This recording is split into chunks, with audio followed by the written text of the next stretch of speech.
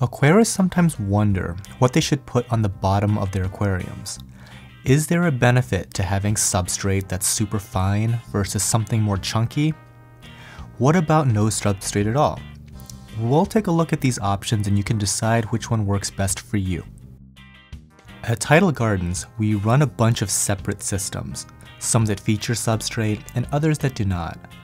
There's a pretty big difference between them, but there isn't a one size fits all when it comes to substrate. Depending on what you're trying to accomplish with your tank, one option might make more sense than another. The large tank shown here is a bare bottom system, mostly anyway. The thing people like about a bare bottom tank is that they're inherently easier to clean because detritus collects on the bottom of the tank and can be removed easily. The problem with that is that there's really no room for neglect. A bare bottom tank must be siphoned regularly to avoid unsightly piles of detritus from forming. This particular tank only has one tang and one fox face to graze on algae. This pair poops so much it boggles the mind. If left unsiphoned for about two days, the tank will form a pile the size of a large brain coral in one corner. So is bare bottom right for you? Let's see. The first thing that comes to mind is that it's a great solution for hobbyists that want very strong flow in their aquarium, such as SPS heavy tanks. Bare bottom tanks avoid the risk of like really strong currents kicking up substrate and creating a sandstorm. The second benefit is that if you can keep up with the maintenance, it's possible to maintain a laboratory clean system with practically a mirror finish on the bottom of the tank.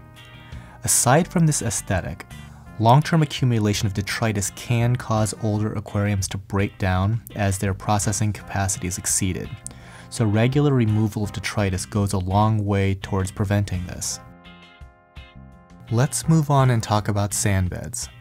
These days, most substrates are ground up aragonite, which is a crystalline form of calcium carbonate. There's three major benefits to a substrate like this.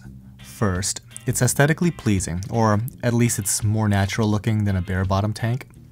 Second, substrates are capable of biological waste processing. Microfauna such as worms and copepods grow in the sand and do wonders for nutrient control. In our bare bottom systems, we see huge accumulations of detritus that needs to be regularly taken out. In our systems with crushed coral, the substrate hides the detritus and processes the waste. We even have a system that almost never gets attention and it's flourishing. The corals are growing practically on top of one another. I would say that we haven't siphoned the gravel or anything in close to two years. That said, the capacity of the substrate isn't infinite, and one day a major reboot may be necessary.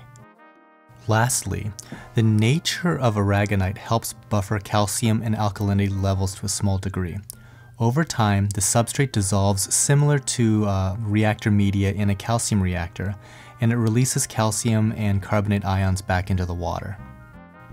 So is this substrate good for what you're trying to do? Let's see.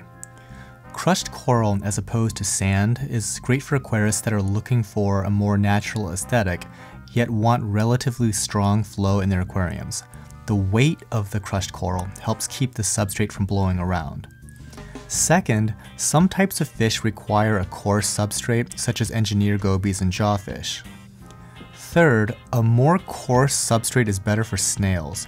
I've seen some snails struggle to right themselves or even move across sand that's too fine.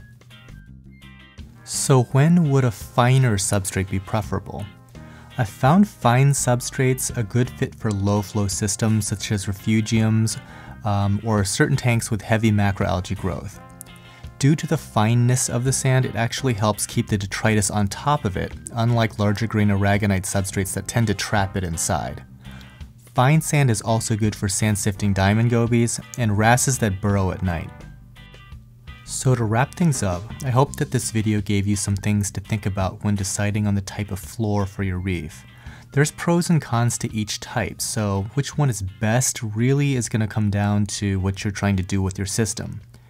In the comments below, let me know which you ended up choosing and why. Most importantly, why. Until next time guys, happy reefing.